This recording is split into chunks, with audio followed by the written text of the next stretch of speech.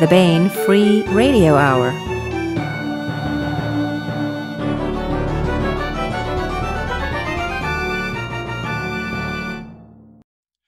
On the podcast, rampaging mass markets kick up a storm of savings. Large arrays of self aware supercomputers team together to invent an artificially intelligent navel and then disappear into it, neatly solving the singularity threat. Plus, we continue the complete audiobook serialization of David Weber's Uncompromising Honor. All right now.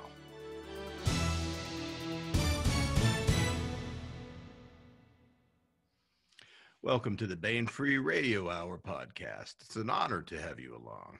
I'm Baen Senior Editor Tony Daniel. We continue with the conclusion of a two part interview with Larry Correia this time. Larry discusses his new high fantasy novel, Destroyer of Worlds. This is the third book in the saga of the Forgotten Warrior series, and it's a it's a stemwinder. It's really good. It's an adventure, confrontation, revelation like you've never seen before in the series. It's an excellent novel, and we continue with the complete audiobook serialization of David Weber's Honor Harrington series masterpiece, Uncompromising Honor. Now, here's the news.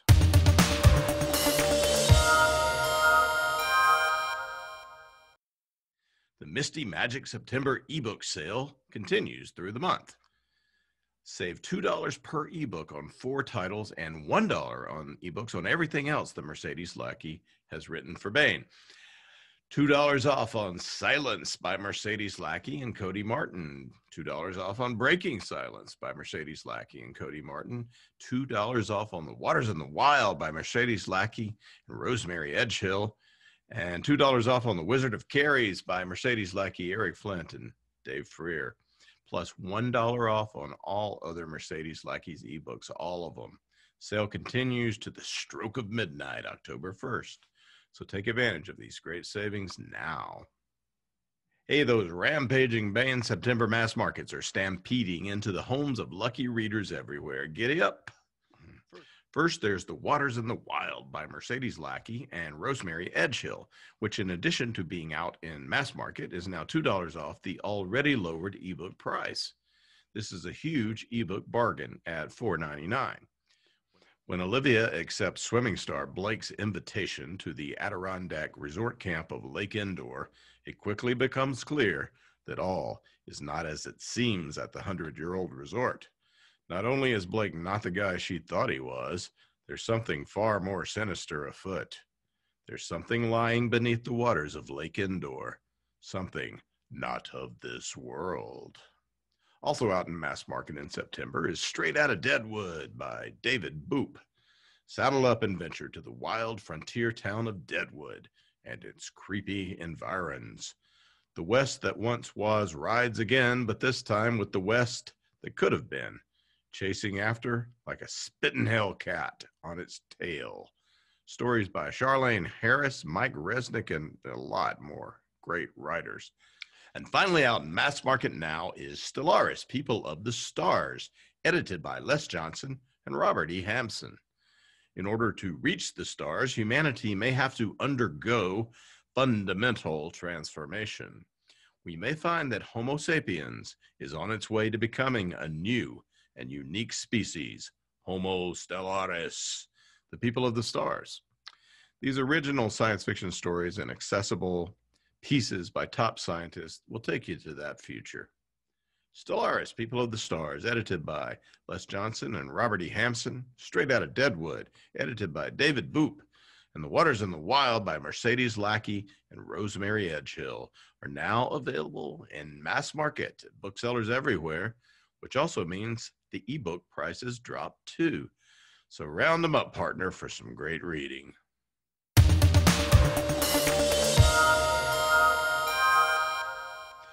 This is part two of a two part interview with Larry Correia discussing Destroyer of Worlds. Part one is available on last week's podcast.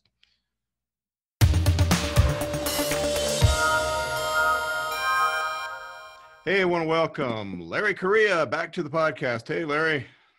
Hey, guys. Uh, Larry Correia is the creator of the Wall Street Journal and New York Times best-selling Monster Hunter series, with first entry Monster Hunter International, as well as the urban fantasy hardboiled adventure saga The Grimnoir Chronicles, one of my favorites. The first entry is Hard Magic, and his epic fantasy series, which we'll be talking about, the saga of the Forgotten Warrior, includes first entry Son of the Black Sword, House of Assassins, and uh, the latest entry is Destroyer Destroyer of Worlds.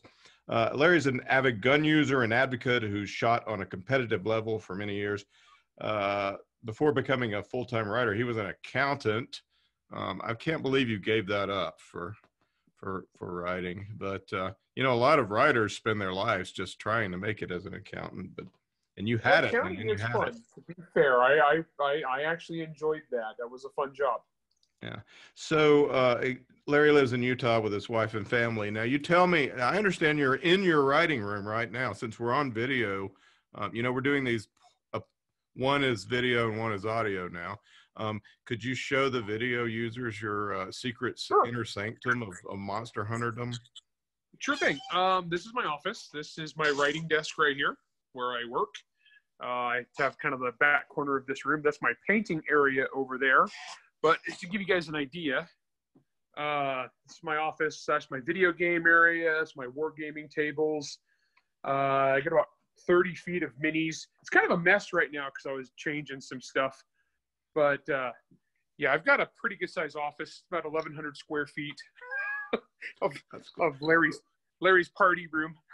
Now you used to like right in the little like dank closet in the basement when you first started. Yeah, right? Yeah. Actually, uh, so I wrote my first book, uh, and it was in the basement of our little tiny house, and we had uh, it was concrete. It was un- it was an unfinished room. My desk was an old door on top of cinder blocks. Uh, in the winter, I would actually write with gloves and a hat on because it was so cold. And uh, yeah, but it was, yeah. Uh, I did that for I did that for a few years, and uh, then moved to a different house where I actually had my own little writing area, which was kind of cool. And then when we built this house, I went completely crazy. it looks like you're up in the attic, sort of. I am, yes. I've got a four car garage, and so this is the room uh, on top of the whole garage, basically, is my office. So it's pretty sweet. I got really cool views. Uh, let's see. Got really cool mountain views all the way around, which is kind of neat. And oh, that's uh, beautiful. You guys, a little bit of an idea here.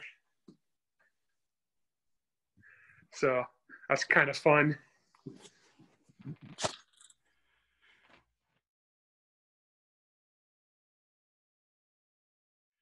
Well, let's talk a little bit about maybe the first fight, um, since uh, the first big war thing that happened, which is isn't it the fight at uh, Dakantar?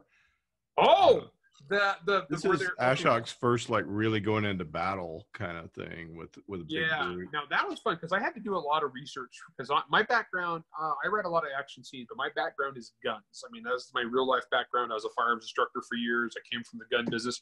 So when I started out writing like Monster Hunter which is an urban fantasy. Uh, writing those action scenes is a piece of cake because that's my background. That's the stuff I know. I'm, I'm trained on that stuff. I, I've learned about it my whole life. And whenever I had to ask people about any sort of particular real life thing, I know a lot of people who actually have done that kind of thing. So the action scenes in Monster Hunter, piece of cake.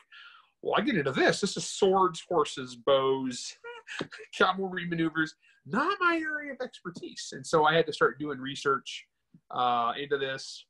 Uh, I, I, recommend Hank Reinhardt's Book of the Sword by Baen to Definitely. anybody who's writing fantasy. Definitely a good book. Uh, Toni Weisskopf hooked me up with some different people uh, to have helped me um, and proofread the, the, the action scenes in this. But I'm actually really proud of these. But so the the Battle of Dakantar, what that is is uh, as Ashok and Thera and all the people come out of the swamps where they've been wintering, they're crossing the plains and they come across all these massacres where the warrior caste has been sent in just to kill the casteless. And this part of the country is uh, that they move into is kind of like uh, the uh, high plains is what they're is what they're walking up into, heading towards mountains. A very open, grassy area. The people live nomadically. There's a lot. They they live in what's called the gray homes. They're basically felt yurts, is what people live in. Uh, they're finding all these massacres. Well, there's this one mining town uh, nearby that has a huge castless population, and they they're told that the warriors are going there. Um, so actually, they intercept a smaller group of warriors, basically a platoon of warriors, and they ambush them in the night. They kill them all, or almost all of them. Um, so they so on the way to this town. So they decide, you know, okay, we're going to take the banner of this group that we just whacked because we're coming in from this other angle. This, these other four platoons are on the other side of the valley assembling to ride down in this town and slaughter hundreds of casteless. But they're waiting this for is our the rights. great extermination beginning. Yeah, this is the experiment for the. They're doing it in this one region, and so I have several platoons over, around the valley, and this one newcomer arrives, but it's not the newcomer. It's actually Ashok and his guys, and they come riding up. Half of half of them have never ridden horses before, which is great. and they're like, well, then we're not going to cavalry maneuver against you know four groups.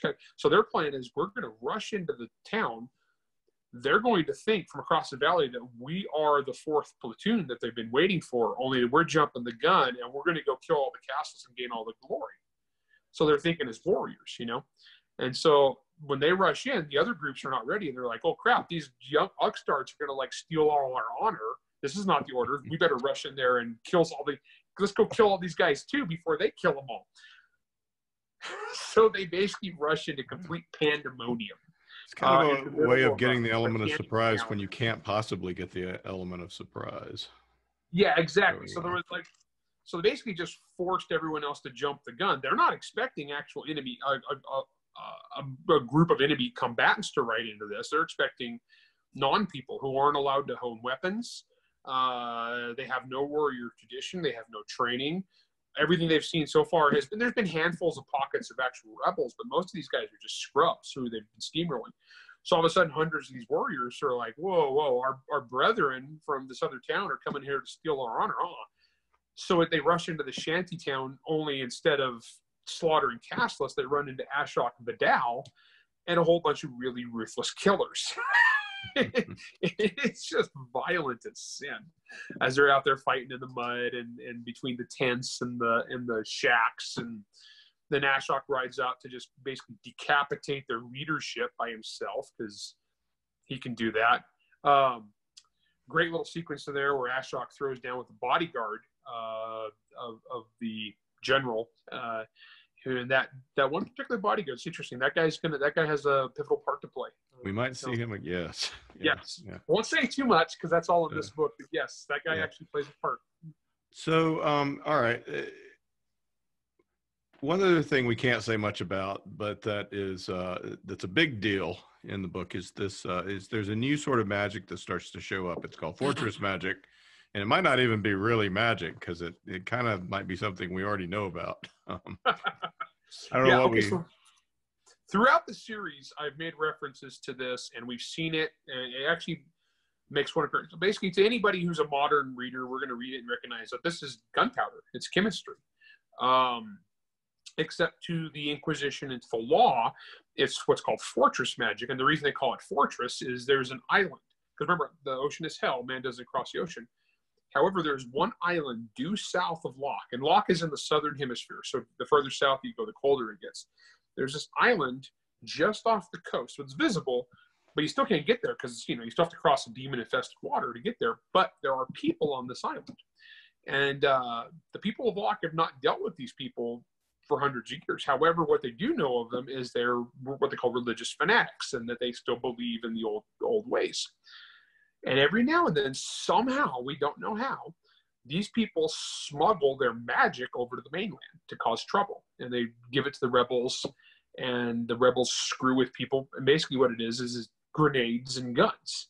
Um, and when I say guns, I mean, we're talking uh, uh, matchlocks. So we're not talking high tech. And the grenades are basically um, pots filled with powder with a rag stuck in them, set on fire, and hucked in the general direction of who you want to blow up.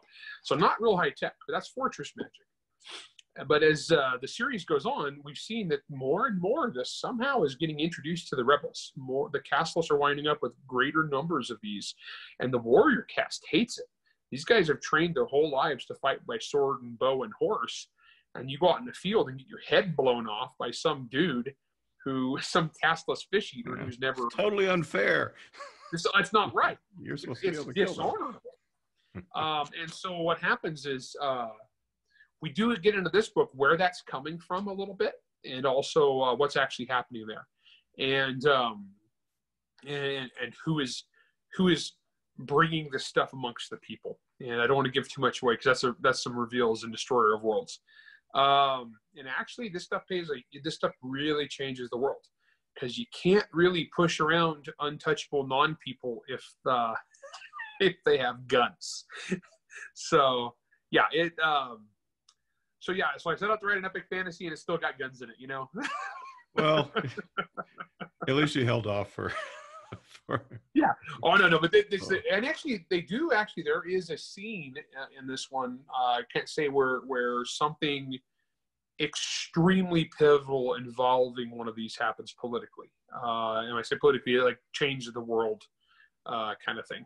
And because uh, I've set this up throughout the series with the first cast where Omand has kind of been pulling their strings and kind of guiding them by the nose to think the way he wants them to think. I did little things like in the last book, there's a scene where Omand is actually putting on plays. He's taking real life events that we've seen in the books involving Ashok, and then we're seeing the play, which is Omand's twisted version of events to uh, to like propagandize what what what he wants the people to think. Um, yeah, it's almost like an evil Hollywood. Uh, oh yeah, in the, he, I, I took my lesson from current events there. You can just make people think what you want if you control TV. and uh, yeah, so no, Omand is Omand is a master. Uh, he's he's a puppeteer with these people, and uh, it's great because he's got to, to to him he's got Ashok in the form of Ashok. He's got this perfect villain that's scared because he was he was a he was a castless who impersonated his way into the highest caste that everybody thought was this perfect servant of the law, and who then betrayed them, and now he's a superpowered murder machine who's out there killing members of the first caste uh, on behalf. Very of useful Catholics. for Om- Omand, yes. Oh yeah, it's fantastic. Um, There I- are other power, uh, and you, we start to see them. There, there's other power centers here, like Harta, um, who's Oh, a really Harta. cool character, um, and he I he, like Harta. he interacts with Rada um, in the book. So Yeah. Okay. So Tell us about Harta, Harta. um, Harta Vadal is the he's the leader. He's the he's he's the um, he's the what's called Thakoor. A Thakoor is the the head of a house. He's that's the boss of a great house. Uh, and so he is the guy in charge of Great House Vadal, uh, which is the richest. Uh, it's, it's it's the economic powerhouse of all the houses in Vadal, and it's in the north, which is bounteous and rich, and uh, that's where Ashok Ashok is the comes from, from. right? But when Harta was a kid, the first time we see Harta is in the first book, and it's flashback 20 years ago when he was basically a teenager, and uh, his mom was the Thakoor. And uh, even then, Harta was kind of a weaselly little politician. And uh, so when Ashok, uh, when they, when A- the castless boy picks up the sword, they basically send him off to a wizard to erase his memory. Harta was part of that um, conspiracy. That's the first time we meet him. Well, then now, 20 years later, uh, we get to deal with this guy again. And what turns out, he is a supremely good orator. Uh, he is a master politician. He is a weasel amongst weasels. And he is in it to win it for his house. Uh, so we run into Harta again, and he is he's not a pushover though. Like like when you when you met him in the first book, he was a kid. Uh, he was kind of an idiot. there's a there's a scene with the little castle boy with Ashok where he goes up and he touches Ashok's head. He's looking for something, and his mom is like, "What are you doing?" He's like, "I'm looking for horns. Castless have horns," and she's like, "No, you idiot. They're physically the same as us." And he's like, "Oh." Just because you know that's how we had been raised Yeah. um, because they were so far above that these people are like pigs to him. And um, no, but we get into we get into Harta a little bit, and Harta has actually got his contingent of bodyguards. Uh, there's a couple really cool guys in there that wind up helping Rada. Uh, excellent, uh, excellent scene involving some uh, Inquisitor assassins uh, making a move on Great House Vadal. Uh, that was really Yeah. pleased with. Well, he's. I mean, so- he's capable of giving some friction to Omand, and he's he's not cowed by Omand, which is Right. cool. See, what so Omand is such a mastered games player that that as the series goes on, you, you see, he really is super good at like like finding who his potential adversaries are and then looking for ways to eliminate them. And in Harta, he's got kind of a traditional uh, uh, Lok politician, and uh, Harta, I don't think realizes the level of evil that is that Omand actually is. Um, but he is, however, one of the things standing in the way. And the biggest reason uh, Harta is against the casteless genocide, not that he gives a crap about the um, casteless, it's that economically it's not good for Vadal because they need the labor because of the rivers. And uh, Omand really wants it, so Harta doesn't want to let him have it. That's really what it is. Yeah. He's like, He's this gonna- guy I really don't like really wants this, so I'm going to stand in his way. Yeah. He's a great slimy character, and uh, I'm sure we'll see even more of him. Um, Oh yeah, yeah. and there's Well, one other character. He Go ahead. works for this guy. And uh, Jagdish is uh, also from there, right? So he has to come Yeah. back and deal with the, him too. So he's Yeah. a big part of the book. Um, Yeah, Jake. That's basically he. Uh, the Thakoor is the supreme commander of the uh, of all the armies. Uh, so the so the entire warrior cast answers to him. Uh, even though Hart is a politician, he's not a warrior. Doesn't matter. He's still their authority, uh, and so he's Jagdish's boss. Uh, and he's so slimy because there's a part where Jagdish is in a lot of trouble. I can't really say too much, but basically, Harta's kind of stuck, and he's like, "Well, I really want to kill this guy. I really want to murder him, but if I murder him, that'll make me look bad." yeah. Hmm. Well, that's the that's the thing about Harta that's cool though is that he's he's got internal principles. They're just utterly uh, like it's it's about making sure that Vadal uh, Yeah. gains more power, and so In his way, he is actually a really good leader for his people because it's all he, he he's in it for his house to win it, right? And so that's so in a way, he's actually Yeah. a good leader.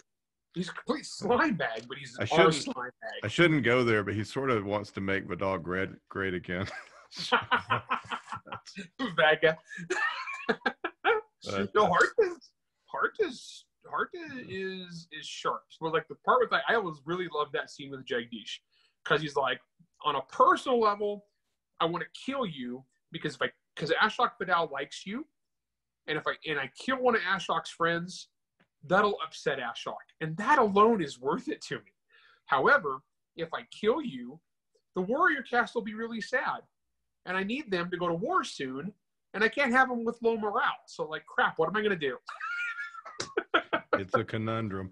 Well, I mean, what's cool though is also is Jagdish, while he is a man of great honor, is also well aware of of what a slimy guy his boss is, and is quite willing to use his honor, um, as long as he stays within. He's got his path, and Jagdish has his, and they both are finding some way to to make. Anyway, it's a great scene.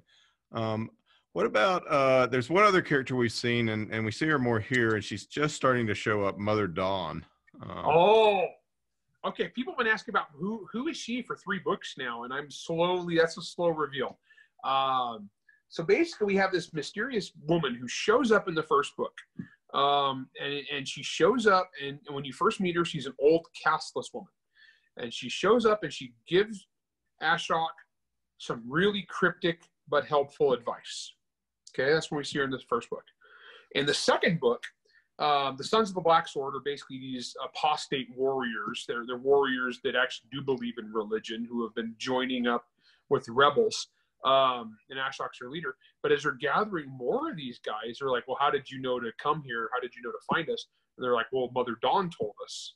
Only to some of these guys, Mother Dawn is a 40 year old worker caste woman. And to somebody else, she's a 25 year old warrior caste woman. And also, they're talking the way they're talking is like, well, she is she's at one side of the continent at the same time as she was at the other side of the continent, telling these guys where to go and how to get there. And so we've run into this woman repeatedly who apparently can see the future, and manipulate events. Uh, and then when we see her, we do see her again in the third book. Um, and now this time she's a first cast woman, uh, and she gives Gutch a job. So don't want to give There, too much there away you there. go. Yeah. Yeah. One other character that's fascinating to me that we should maybe we could talk about a little bit before we uh, we pretty much exhausted what we can say without giving anything else away. It's so hard when you're on a third book. Uh, Ratul is is he's dead now, but he's sort of set everything in motion, and he was involved with both Thera and uh, Ashok, Yeah. our two main characters. Um, Ratul, Ratul, um, okay, so Ratul, and in fact, there's a short story uh, called The Testimony of the Traitor Ratul, which is available on the Baen website for free, and it's also in my Target Rich Environment short story collection. Um, and it's Ratul's backstory. It's just a journal entry from Ratul explaining his life. Now, Ratul is this really interesting character because when we see him originally from Ash, young Ashok's perspective, he's this brutal, hard-nosed head of the Protector Order, very law and order, ruthless, ruthless teacher, uh, just a just a brutal instructor. And that's how we first meet him. And then when we move to present times, he's always referred to as the traitor Ratul. And what, what says about him is that he wandered off, became a religious fanatic, uh, started believing in the old ways, and then disappeared. But then when we see from Thera's backstory, we see uh, Ratul, how Ratul discovered religion was because uh, as a protector, he was out there putting down a rebellion, and he came across Thera, uh, who at the time was a prisoner because her family had rebelled and it had failed, and uh, that's when her power, um, uh, her power of prophecy manifests, and Ratul sees it. and she's Yeah. the prophet of the forgotten one. We should that, Yeah. that's that's of the, the of the forgotten gods of the of the of the banned illegal religion. Hmm. Well, because then Ratul saves her life, and it turns out that Ratul has been a believer um, for a generation uh, in secret. And so when she appeared, uh, he stepped up and saved her, and then whisked her away and hid her. The big secret hideout that the rebellion is using is actually a thing that Ratul found uh, dozens of years before um, and never told anyone about because he knew that someday it would be valuable to the gods uh, for the gods' plans. And so the guy that trained really- Ashok and Devedas, our two uh, mega warriors. So Yeah, um, because Ratul is possibly the best swordsman of modern times. Uh, and he was so he was and he was the, the guy who trained the two main characters, which is interesting when they're fighting because they have to keep switching out of stuff that Ratul taught them because otherwise the other guy wouldn't see it coming. Um, Ratul's really interesting too because, like I said, this is a this is a, where religion has been banned. Um, you know, but but there's little hints as to what the religions were before in the different houses. Uh, Ratul is from a place called Sarnabat, which uh, the wolf is what they call them amongst the people. Uh, they're they're kind of a violent uh, people. But it's interesting. We're getting little clues to the the Ratul's uh, backstory. It was fascinating. I love writing that short story. He was a sensitive guy. He actually, as a kid, he was a dancer. He didn't want to be a fighter. he got sent off to do this, uh, and he turned out that dancing was really similar to sword fighting. and Yeah. Ratul actually was a sensitive young man who turned into like this Oh. lethal, brutal, hardened killer. he could be uh, in the Bollywood version. I love Ratul, yeah. And he was yeah. a little little angry man. And it was interesting because as the series goes on, we discover that for 20 years, Ratul's been laying the groundwork of this rebellion while he was uh, the Lord Protector. So it was basically like having the chief law enforcement officer in the country. It was like the head of the FBI secretly works for the mafia. and Ratul is just laying groundwork this whole time. And uh, Mhm. that's all coming to pay off. Yeah. And this uh, book is the coming. I mean, this it's this the inevitable coming together of Ashok and and Devedas, his two greatest disciples. That's and it's an amazing scene when they when they do. And uh, I mean, that's it, it's just worth it for that alone. Um, one of the best fight scenes I've ever written. I, I think I do. I do think that's one of the best fight scenes I've ever written. Was the was the standoff between those two guys? That was pretty brutal. Um, and that was yeah. I can't give away too much. Obviously, third book. Uh, now, okay. So originally, just a little bit about that. So when I first pitched the series to Toni Weisskopf, um, I said, "This is what I have in mind," and I, I pitched it to her as a trilogy, as a three book deal. And I wrote Son of the Black Sword. She loved it. She took it. Uh, and then she's like, okay, so what else do you have planned for the rest of the trilogy? And I told her, and I was like, I want to do this, this, this, and this. And I walked through this thing. And Toni looked at that and she goes, You will never fit that into three books. She's like, That will not fit in three books. I guarantee it. She's like, That's at least five. And I was like, Oh, I can fit it into three. Then I started writing House of Assassins. And the entire book of House of Assassins is basically half of what I thought the second book was going to be in my original outline. So I was like, yeah, Toni's right. Uh, Hmm. and then, uh, so this is more, this is probably going to be about a five or six book series instead of a three book series. Uh, so originally the plan was three book series, but that just did not shake out. Uh, by the time I got the second book done, I was like, oh no, I'm not going to, I'm not going to hit that. but I do have the overall arc since the beginning, and so uh, I'm really excited about it. It's it's a lot of fun. There's some big reveals coming, and it just flips the whole world on its head. So I- it should Well, be pretty. what, cool. Uh, what else are you working on at the moment? Oh, uh, actually, today um, I'm doing the final final edits. Uh, I got the edits back from Toni Weisskopf for uh, a book called Gun Runners that comes out in February, and that Right, is yeah. uh, in John Brown, uh, John D. Brown. Uh, it was a collaboration. It's a science fiction novel. It's an action adventure sci-fi novel.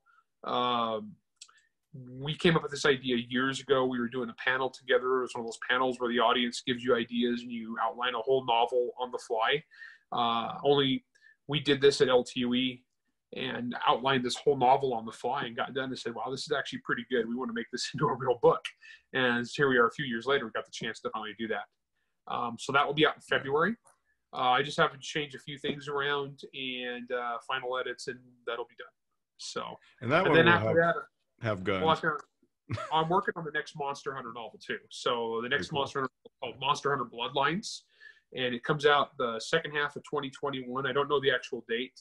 Uh, I don't want to see where like August or September, I think. Um, but I'm working on that now, and I still got a, I still got a ways to go on that. So Very cool. Very cool.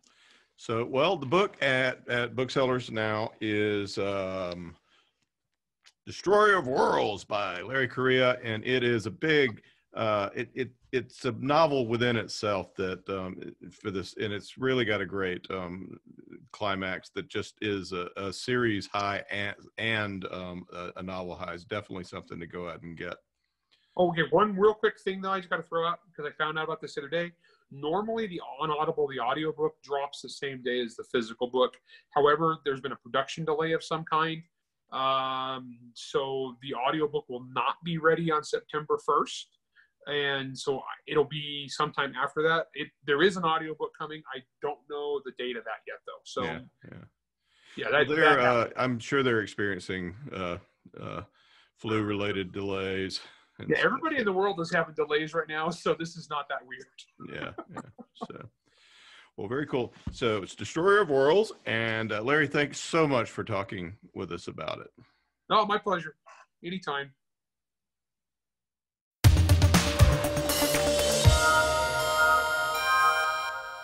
That was part two of a two-part interview with Larry Correia discussing Destroyer of Worlds.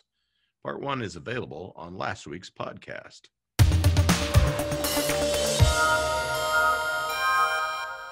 Here is another entry in David Weber's Honor Harrington series masterpiece, Uncompromising Honor. Honor keeps her promise. The Solarian League. For hundreds of years, they have borne the banner of human civilization. But the bureaucratic mandarins who rule today's League are corrupt and looking for scapegoats. They've decided the upstart Star Kingdom of Manticore must be annihilated. Uncompromising courage. Honor Harrington has worn the Star Kingdom's uniform for half a century. Very few know war the way Honor Harrington does. So far, hers has been a voice of caution. But now the Mandarins have committed atrocities such as the galaxy has not known in a thousand years. They have finally killed too many of the people Honor Harrington loves. Uncompromising vengeance. Now Honor Harrington is coming for the Solarian League, and hell is riding in her wake. And now, David Weber's Uncompromising Honor. Ajay Terminus. Prime Ajay Hyperbridge. So you still liking the odds Giselle gave you, Andy? Commander Aloka Menendez inquired, turning her command chair to face Andreas Bezignos, her executive officer. Lieutenant Bezignos looked back without saying a word, and Sarah Chi, HMS Boomslang's tactical officer, chuckled without taking her attention from her own displays. Should have known better, Andy, she told him. First, because the Commodore, well, he's the Commodore. When was the last time you saw him get it wrong? Whenever it was, I'm pretty sure it was the first time, too. But even leaving that aside, nobody in his right mind bets against Giselle. And even if they did, nobody'd be, I hate to say it, but dumb is the only word that comes to mind. To do it when she offers odds. What were you thinking? Bezignos maintained his dignified silence, but his lips twitched. She had a point. At 42 years, Lieutenant Giselle Parkinen, Firesnake's executive officer, was the old woman of the group, 17 months older than Commander Menendez. Her relatively ancient age for her rank had nothing to do with lack of competence. She'd just been busy doing other things until the People's Republic of Haven's Operation Thunderbolt brought her a direct commission from the Merchant Service. If she didn't end up with an Admiral Stars, it would only be because somebody managed to kill her along the way. And, as his good friend Chi had just so kindly pointed out, Parkinen never had the wrong end of the odds in a friendly wager. She also had a nasty and expensive knack for filling inside straights.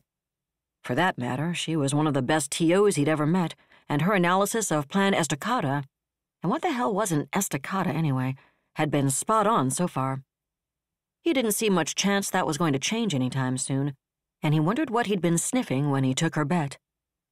Well, I'd have to say it's not looking too good from your side, Menendez said now, twitching her head at the red icons of the three Solarian destroyers on Boomslang's smallish master plot. Those three seemed to be doing exactly what she, and the Commodore, let's not forget him, predicted. I know, Bezignos admitted finally, and I knew it'd probably work out exactly that way from the beginning, but the odds were so good.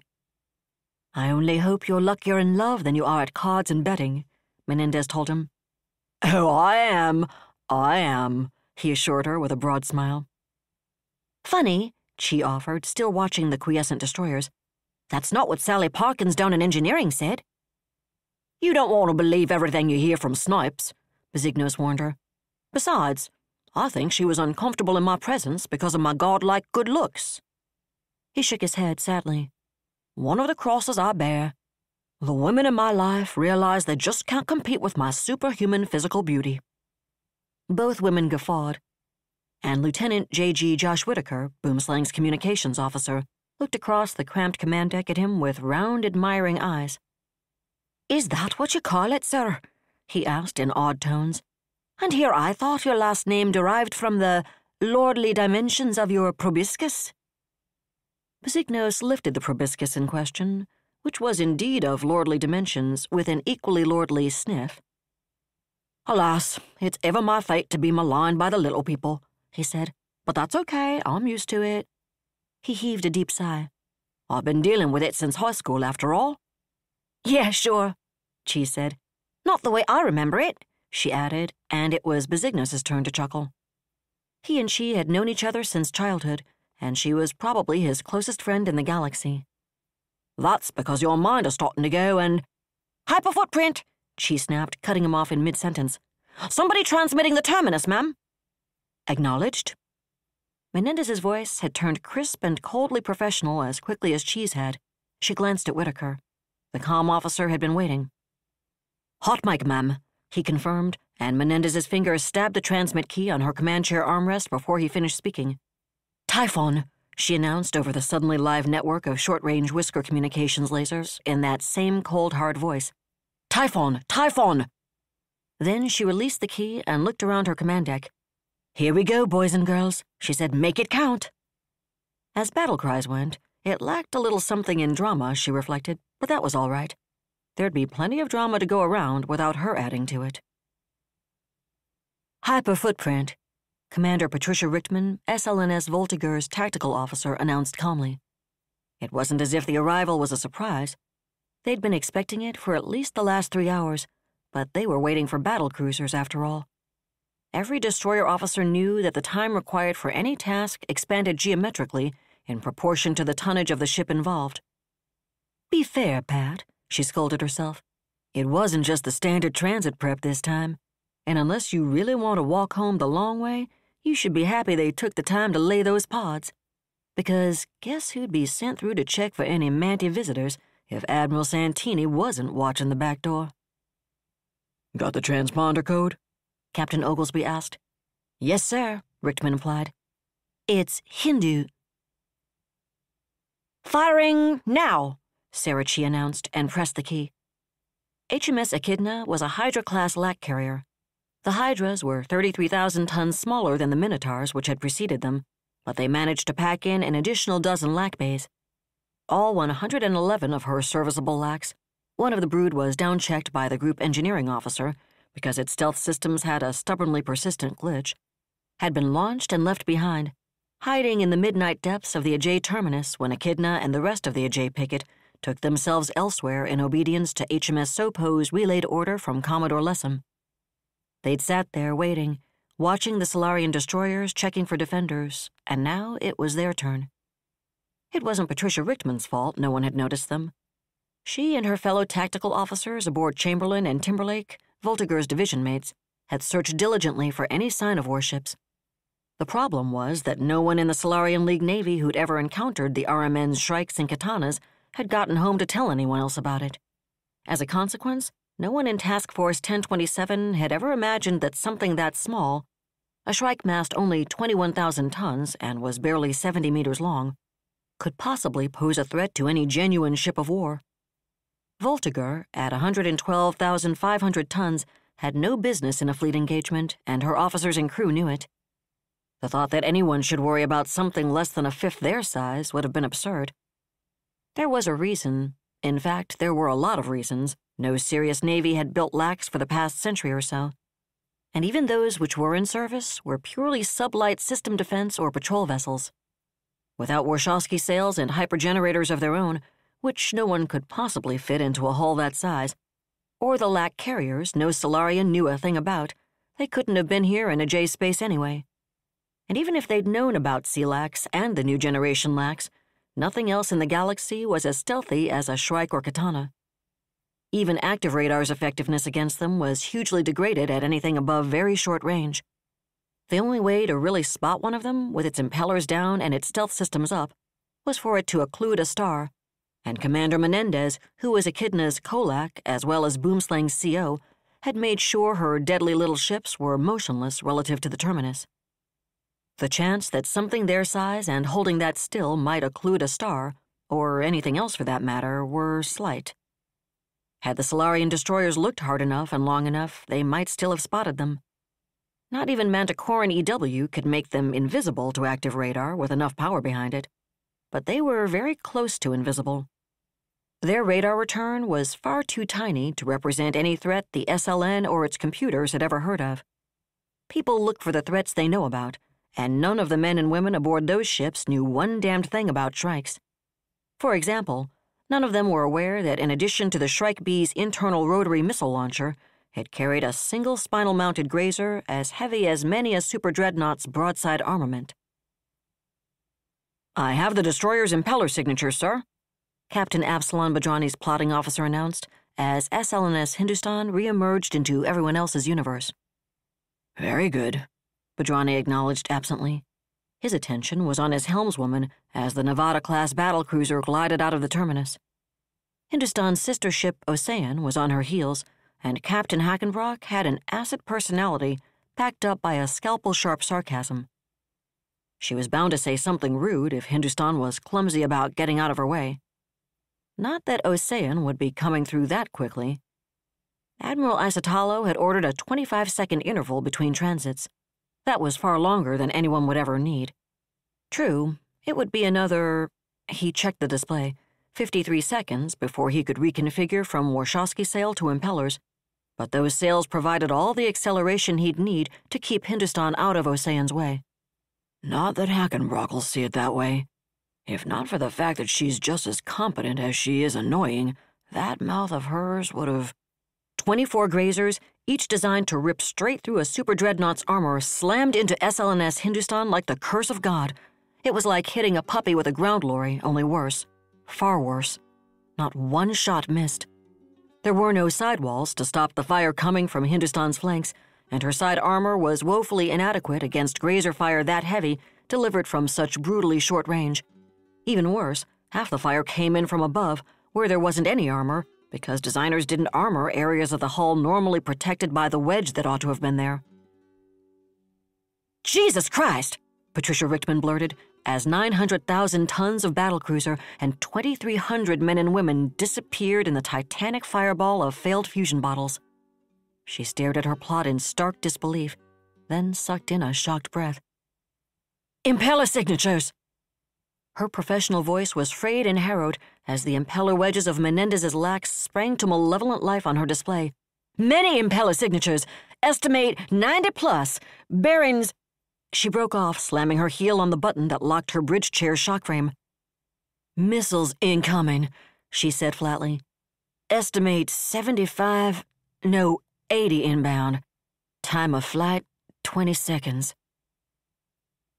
Aloka Menendez's eyes glittered with fierce satisfaction as the first Solly battle cruiser blew apart.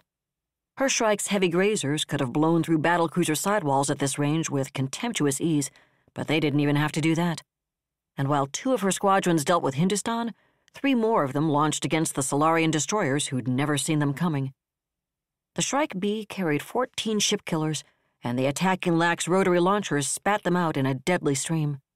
The range was so short they could easily have taken the Sollies down with graser fire, but the Achilles heel of the Shrike's massive energy armament was that its fission reactor couldn't recharge its plasma capacitors in battle. The energy budget simply wasn't there. That meant her unit's energy fire was at least as limited as their magazine capacity, and she wanted all the graser shots she could bank against future need. What the? Captain Chayula Hackenbrock blurted, snapping upright in her command chair as Ocean emerged on the Ajay side of the terminus. One moment the tactical display had shown only the calm, orderly line of battle cruisers queued up for transit. The next, it was littered with missile traces, impeller signatures, and the homing beacons of a bare handful of life pods speeding away from the fading fireball which must be all that remained of Hindustan. Impeller signatures! Many impeller signatures! Her TAC officer screamed.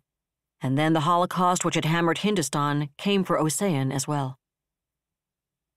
SLNS Ohio, Neptune, and Minotaur followed into the furnace one by one, emerging at neat 25 second intervals into the devastating fire of LAC Group 117, and the fire in Commander Menendez's eyes grew cold and bleak. They don't have a chance. Not a chance. My God, it's not even shooting ducks. It's clubbing kittens. These poor bastards don't even know we're here until they sail right into our sights and we blow them to hell. Her jaw tightened and her nostrils flared. Whatever their high command and political masters might have done, surely the men and women aboard those dying ships were not so different from the men and women aboard her ships. Targeting change, she heard her voice say. Go for the hammerhead, Sarah. Take out the impeller rings, and the poor bastards are toast if they don't surrender as soon as we get back around to them. She grimaced. Let's not make any more orphans today than we have to.